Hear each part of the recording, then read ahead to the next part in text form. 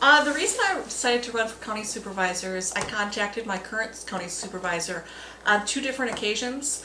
Uh, once by dropping off a letter that I had actually written at the county uh, building, and another time by email, and I never heard back from him. And I believe if a constituent takes the time out of their busy day to contact any representative on any level, they should be contacted back. So that was the reason why I ran for county board.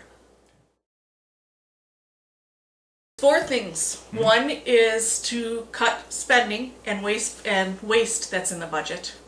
Another is that I pledge to contact every constituent. If they email me, call me, write me a letter, anything, I pledge to contact them back. I also want to grow jobs in the economy in Kenosha County. I feel that um, I could work with our elected officials, Sam Kerkman, Bob Wirch, even Paul Ryan, on getting different way different ways to get funding or tax breaks or TIF districts or anything like that here to um, to bring jobs and uh, businesses to Kenosha County. One of the main things I think that would help get uh, jobs here is getting rid of combined reporting, which was passed in the state legislature this year. And then the last thing I'd like to do is I want to get a referendum on the KRM, the Kenosha Racine Milwaukee train line they want to put downtown.